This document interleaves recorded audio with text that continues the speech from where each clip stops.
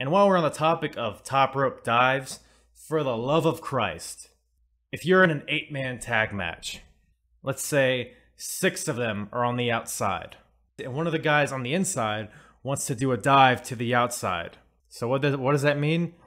That means the six guys on the outside have to awkwardly, slowly, and clumsily gather together, like very softly, weirdly punch each other, but also be looking to the to the ring to see when, when the guy's gonna jump on you. Everyone gets together, starts hugging each other, even though you're fighting each other, and then the guy in the ring then jumps off the top rope, lands on them, and then everybody catches them. Every week I see this.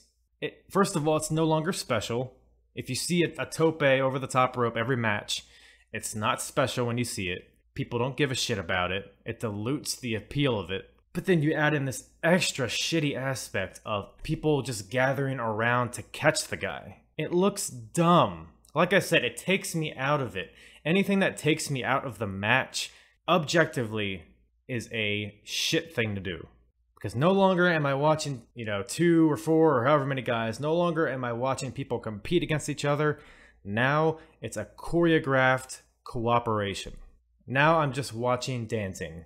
And that, and personally, there are people that like dancing. I don't like dancing. I want wrestling. And when fucking Fenix or whoever jumps onto 12 guys that are all huddled together to catch him, who who is that for? It's not impressive by any stretch. It looks dumb and nobody benefits from it. And everybody that stands around to catch him looks like an idiot.